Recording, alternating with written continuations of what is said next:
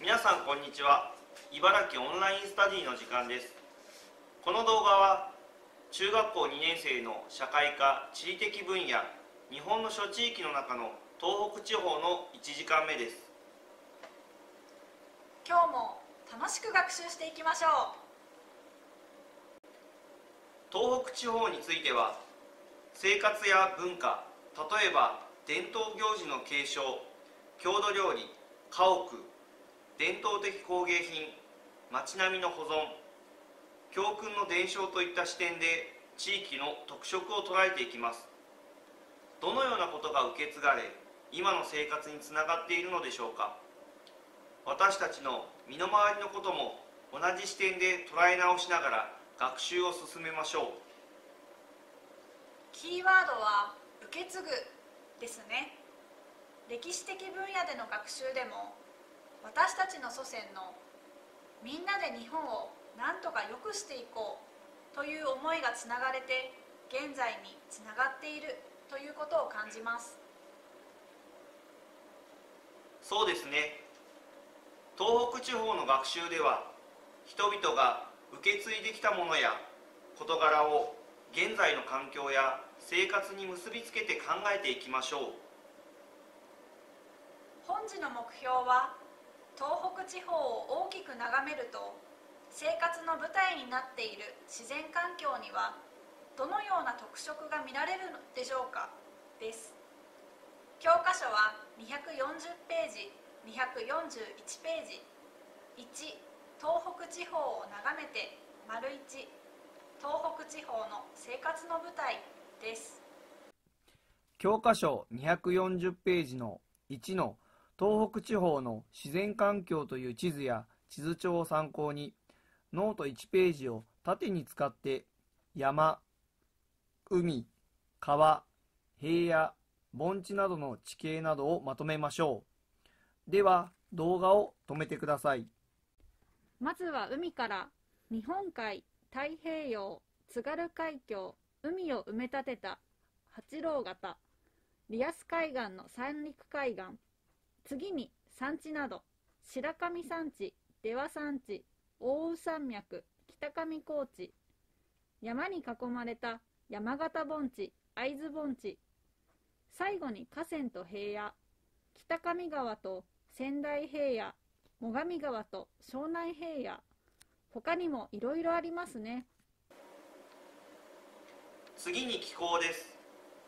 私たちに馴染みのある東京と盛岡を気温降水量で比べましょう。では動画を止めてください。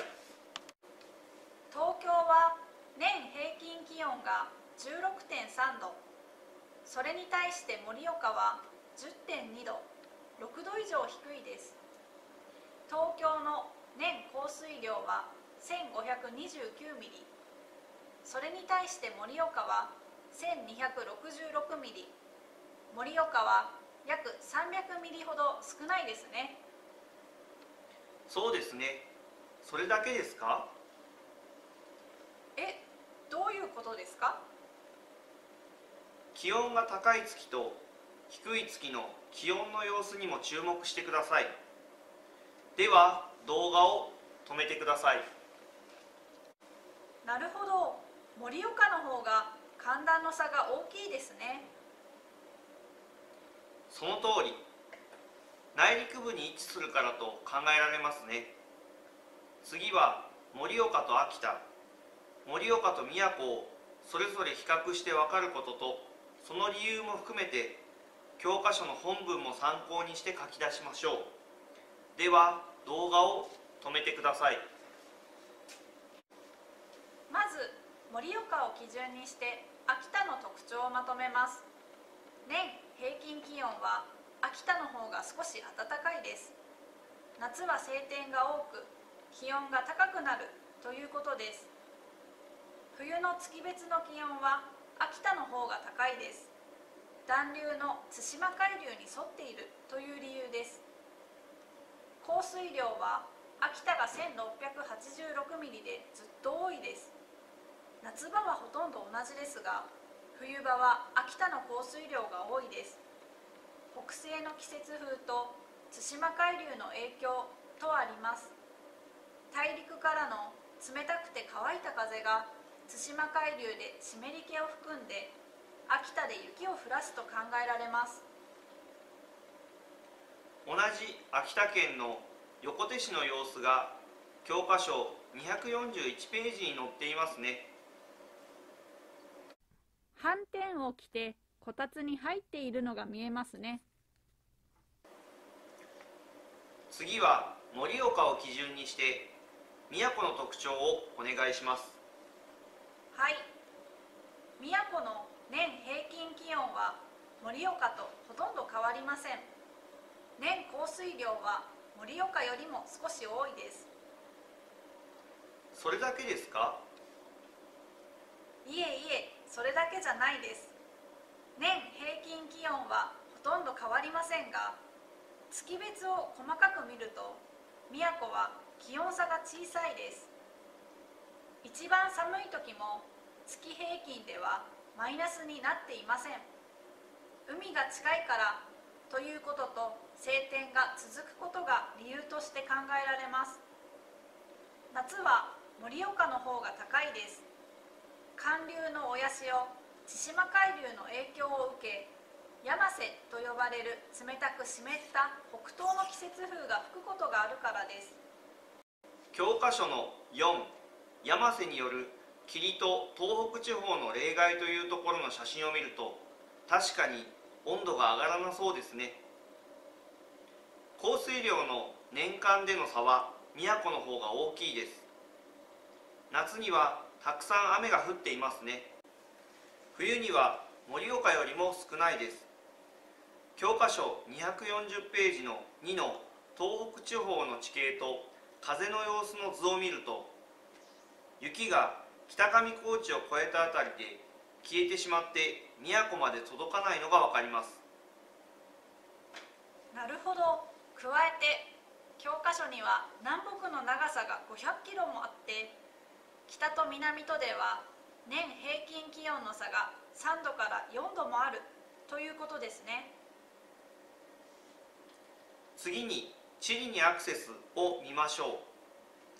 東北地方は古くから大きな地震の被害に遭っていることが分かります。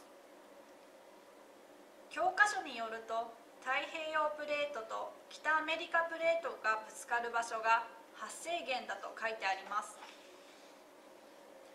最近で言えば2011年3月11日の東北地方太平洋沖地震も記憶に新しいですね。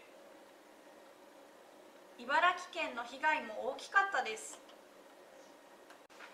岩手県で部活動中の野球部の中学生が昔からの言い伝えの津波天然湖を実践し小学生を連れて丘の上まで登り津波の難を逃れたことについてインタビューされていたのをテレビで見たことがあります。この地震と津波による福島第一原子力発電所の事故は風評被害や放射性廃棄物汚染水の処分の方法など今でも解決していないものがあります。今なお復興に向けた取り組みが続いていますが当時はアメリカ海兵隊員も友達作戦として救助活動に従事してくれました。ではここまででまとめましょう。ポイントは1地形。